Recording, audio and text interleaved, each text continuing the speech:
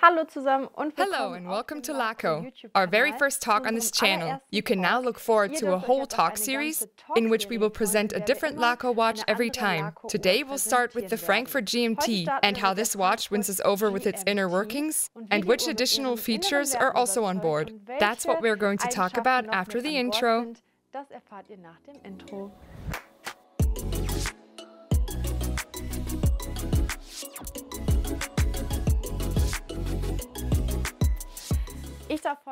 I'm glad to welcome the den LACO managing director himself, Mr. Uwe Rücker. Good to have you here. Sie da sind. Hello. In puncto LACO bin ich bei Ihnen genau an der When it comes to LACO, you're exactly the right person to talk to. So I am very happy that you're here.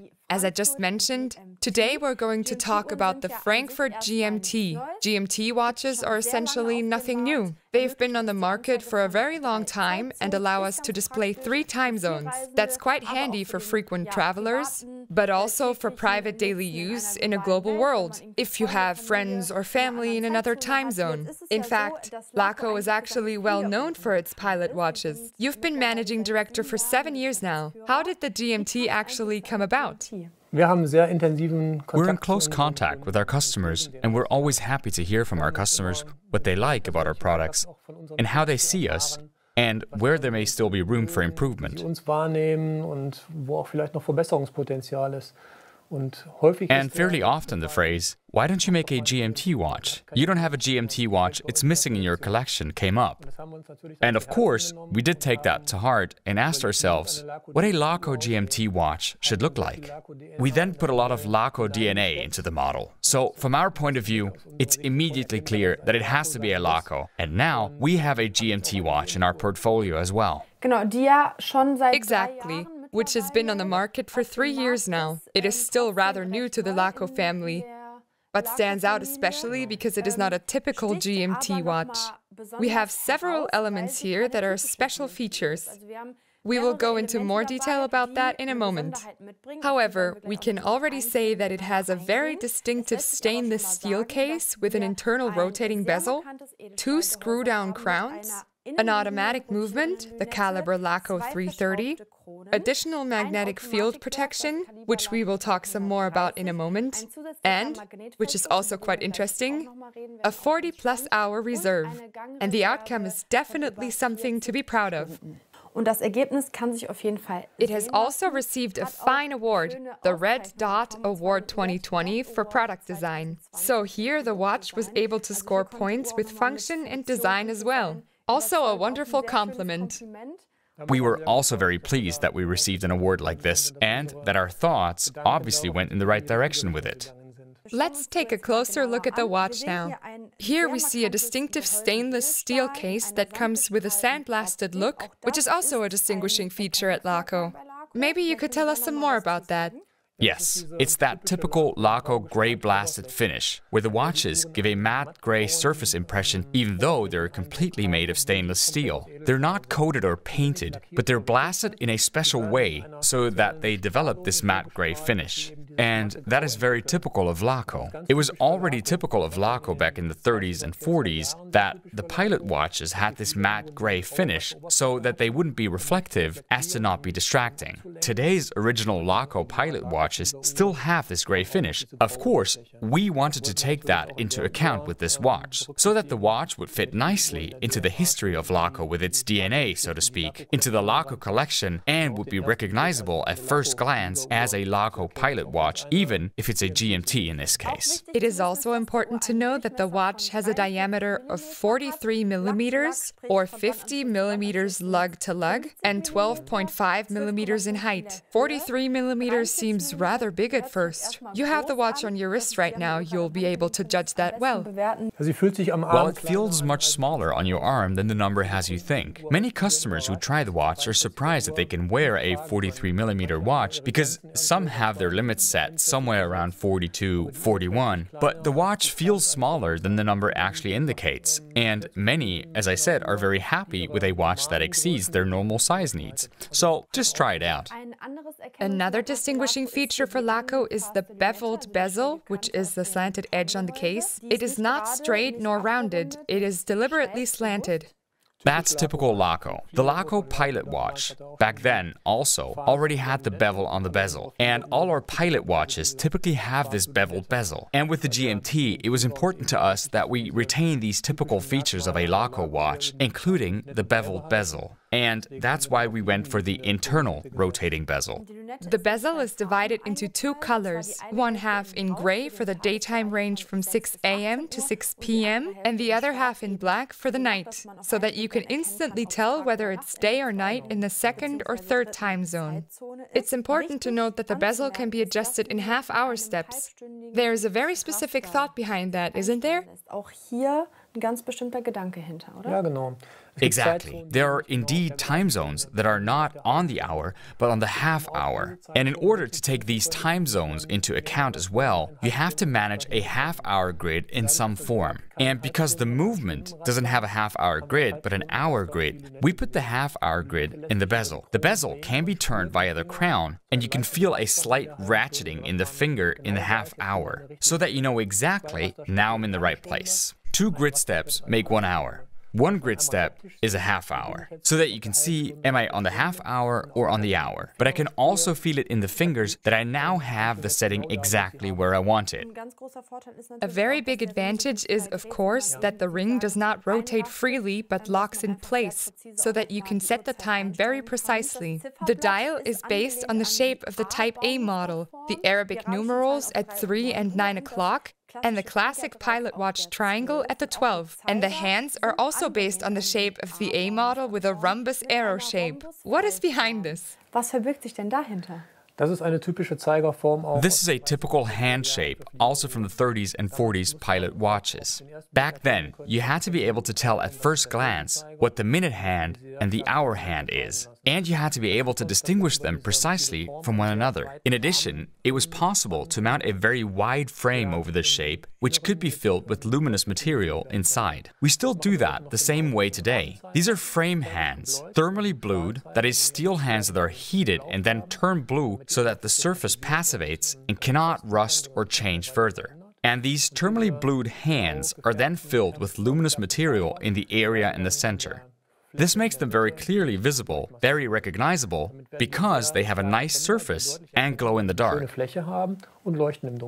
Fläche haben und leuchten im Dunkeln. Exactly. And here we have the C3 Superluminova, considered to be one of the brightest varieties. This simply means that it has good luminous properties at night, meaning it shines bright for long periods of time. What catches my eye is the GMT hand. This one doesn't have a classic snowflake and isn't straight, which is actually what you usually see on the other GMT watches. It also has an aviator triangle. Exactly. It is once again a frame pointer to save weight, but still has as large of a recognizable area as possible, which is hollow in this case. So it's not filled with C3 mass, but only the frame shines, and thus you can A. see very well, and B. also see very well where it's positioned. und es wurde bewusst die Farbe Orange Exactly, and the color orange was chosen deliberately. Äh, Red would not have been as suitable because we know that in the cockpits, the color red is considered a warning. That would have been counterproductive. Orange has good luminous properties, is very opaque, and also fits well within the color family as a whole. This gray color is exactly the same gray as the case and also as one half of the bezel. How about your black dial? Beim schwarzen Zifferblatt ausschaut. It doesn't cover up anything because everything can shine through. For me, as you said, the dial is the black one, which is much darker and offers a little stronger contrast to the hands. But in the end, it's an aesthetic decision of what you'd rather have a darker dial or a lighter dial, and whether the dial should blend in with the case a bit more unobtrusively or stand out a bit more in contrast. But we can also choose the color of the bracelets. Here we have the textile strap in gray and orange, but it is also available in black and orange. Or, for example, the leather strap, which you're wearing right now. Ja, das ist Nitex. Yes, that's Nitex. It looks like leather, but it's not leather. It's waterproof. Since the watch comes with 20 atmospheres, even has a water resistance of 200 meters, it makes sense to attach a water resistant strap, and that's why we opted for the black Nitex strap for this. You have just addressed another important point. It is waterproof to 20 bar, which might also be of interest to some people when buying. While one might pay more attention to the appearance, the other might focus more on function and water resistance. That way, you don't need to worry if you happen to be underwater with the watch. And because the back is screwed down, the bezel is screwed down, and both crowns are screwed down, we were able to create a very high waterproofness, thereby making the watch very suitable for everyday use. Untypical for a pilot watch, but just very typical for an everyday watch that you wear for hobbies, for sports, even for water sports maybe, or in the office. We should also point out that the crowns are atypical. We have two screwed down crowns, which have a crown guard on the left and right. If you happened to accidentally hit the edge of the table with your wrist, the crowns would be damaged. That doesn't happen here unless the crowns are not screwed back in properly. That is an important thing to keep in mind. Da muss man auch noch mal was Wichtiges beachten. Ja, dadurch, dass die Due to the fact that the crowns are screwed down, they sink a little into the crown guard. And when the crowns are screwed out, they stick out a little bit and can then be moved. The lower one is for the movement, and the upper one for the rotating bezel. The crown sticks out a little further out when it's screwed out and must always be screwed in. So put a little pressure on the outside of the crown and then turn it slightly. And as a result, the watch is waterproof again. Here we have a typical aviator crown. Some people may also refer to it as an onion crown. Around the entire crown is the knurling, which simply makes the whole thing more grippy. Right. Quite typical also for a pilot watch, a very grippy crown, which in the past also had to be operated with gloves. It is just pleasant to move, especially if you use a crown more often, such as the crown on the rotating bezel. Then it is pleasant to have a good feeling that you have the crown properly in your hand. Let's move on to the sapphire crystal, which is also typical for the other Laco watches. It is known for the extreme hardness of the glass, which is curved on the inside and the outside. You can also buy the watch with anti-reflective coating on both sides. The standard is anti-reflective on the inside. There are fans of a purely interior anti-reflective coating. There are also fans for an anti-reflective coating on both sides. And getting the cambering with the same radii right in the first place is also enormously complex. We made it optional so that everyone can buy according to their preference from us. As a result, sapphire crystals quickly become pretty expensive if you have double domed crystals in that thickness. It is also special that the watch has a magnetic field protection. That's not the case with all watches. You can think of it like a lightning rod, right? Vorstellen, oder? Im Grunde ja. Basically, yes. It is like a Faraday cage that is built around the movement. Made of soft iron, it ensures that magnetic fields cannot hit the movement and thus cannot magnetize the movement. A magnetized movement would have the disadvantage that the elements of the movement are magnetized to different degrees and then attract or repel each other, which of course would greatly affect the accuracy of the watch. You can considerably reduce the issue via the magnetic field protection. It is not impossible to have an impact with a very strong magnetic field, but you can keep the typical magnetic fields in everyday life away quite well with it, and thus keep the accuracy of the watch pretty much at the level in which the watch is delivered. And most of the watches we receive for servicing are magnetized. They are then placed on a demagnetizer and are relatively quickly free of magnetic fields again. But this is an effort on the part of the customer that we can evade this way. Nochmal ein schöner Zusatz, dass diese Uhr diesen So it's nice that this watch already has this protection. As you've already mentioned, it has a screwed case back, and once again, the beautiful silhouette of an airplane is visible on it. The automatic movement is hidden underneath it. The caliber Laco 330 is based on the Swiss caliber Sellita 330-2, which has proven itself time and again. Maybe you can say something about that too. Ja, das Werk ist seit ähm, Yes, the movement has been on the market for a long time, made by ETA and Sellita. The Sellita replica is now common with us in this watch model, has been widely tested, and has the great advantage that most watchmakers in the world can maintain and service this watch. Most have spare parts for the watch or can obtain spare parts and are used to handling this movement and can easily repair or even service the movement. In Stand setzen oder auch in, in Stand halten. And a power reserve of more than 40 hours. Exactly. And furthermore, you can get the movement from us in two quality levels. One quality level is the Elaboré level. This is the level that is available in our standard delivery. And the advanced quality is the quality level top, which can be purchased online in our store as an add on. gekauft werden kann. Die Bandanstöße, The lugs that had always been straight in the original Laco pilot watches, which was also a very typical earlier design, are now curved. You can see it from the side. I don't know whether that makes a difference on the wrist. Vom Gefühl her eigentlich nicht, da ich gewohnt Based on the feeling, I don't think so, because I'm also used to wearing the originals from Laco, which have straight lugs. They basically feel the same on the wrist. The look is a bit different. The watch looks sleeker on the wrist. It fits the wrist better, but that's purely a matter of optics. In terms of wearing comfort, this does not make much of a difference to the originals. But visually, you have a more harmonious, smoother watch on your wrist. Angeschmiegsamere Uhr am Arm. 1650 Euro The price for the Frankfurt GMT is 1,650 euros. The watch comes in a very fancy flat aluminum box. This is what it looks like when the box arrives.